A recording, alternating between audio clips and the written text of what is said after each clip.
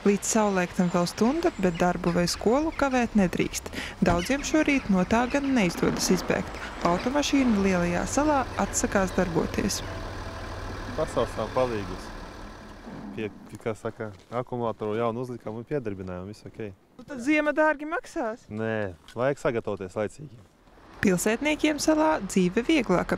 Daudz dzīvokļu pagalmos kaimiņi cits citam palīdz iedarbināt automašīnas. Lauciniekiem viencētās ir grūtāk. Rēzeknes balvu un citos novados šodien lauku skolās mācību process noris attālināti. Bet, piemēram, Maltas vidusskolā mācību process klātienē šodien tomēr notiek. Tomēr uz skolu ieradušies tikai tie skolēni, kas dzīvo tepat ciematā vai kurus atveda vecāki. Savukārt skolēnu autobusi šodien tā arī palikuši neiedarbināti. Lēmumu autobusus neiedarbināt šeit pieņēma vien iepriekšējās dienas vakarā, tāpēc laika apzināt skolēnus un viņu vecākus nebija daudz. Tomēr ziņu par izmaiņām šķiet skolēni bija saņēmuši. No nepilniem 500 ieradušies 49 skolēni. Mazos atved viņu ir vairāk. Vidusskolēnu ir mazāk, jo viņi jau negrib, pat tad, kad viņiem ir jāiet, viņi nenāk. Tā kā viss ir tā, 12. klasē, man liekas, trīs skolēni ir tikai. Vecāki piespieda, tāpēc nācās iet.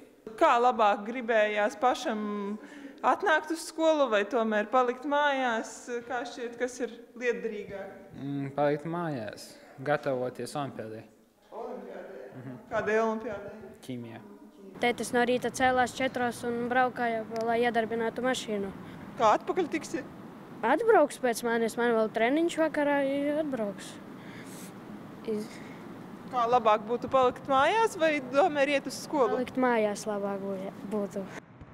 Neattaisnots kavējums gan šodien nebūs nevienam, sola direktore. Pustukšajos gaitiņos un kabinetos gan visur ir vienādi silti. Par to rūpējas ciema katlamājā. Jo lielāks salds, jo vairāk jāsilda, šeit apgalvo, ka nē.